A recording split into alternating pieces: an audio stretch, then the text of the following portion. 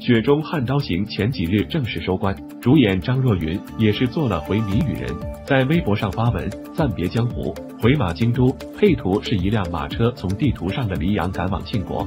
不过，相信对这两部剧有所关注的人一定知道张若昀这句话代表了什么意思。第一季虽然原著党可能会有些不太满意，但纯路人看起来观感还是非常不错的。可以说每个角色都演绎的非常到位，尤其是张若昀，更是凭借范闲这个角色又再次爆火网络。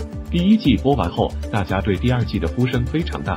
不过，大家对其中严冰云的扮演者肖战存在非常大的争议，让严冰云换演员的声音得到了许多人的支持。其实第一季中，严冰云只在最后两集中出现，戏份也不多。几乎只打了个酱油，但因为严冰云的扮演者肖战当时凭借《陈情令》爆红，所以严冰云这个角色受到了广泛关注。但后来因为肖战粉丝的一些迷惑行为，肖战几乎达到了被全网黑的地步。说实话，我个人对肖战并没有什么反感的点。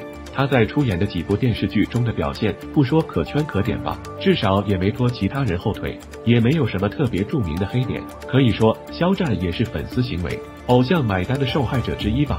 不过，当时还有影视圈的大导演点名说肖战演技差，实力不行，还有人发视频直指肖战演戏时还要导演手把手教。当时《庆余年》的导演孙浩还点赞了这条微博，不知道是不是手滑。第一季严冰云这个角色没什么戏份，所以第二季如果换演员的话，其实对于观众们来讲影响应该是不大的。按照原著，第二季开始这个角色戏份就开始变多了，不换演员的话，肖战能给这部剧带来的流量肯定是巨大的。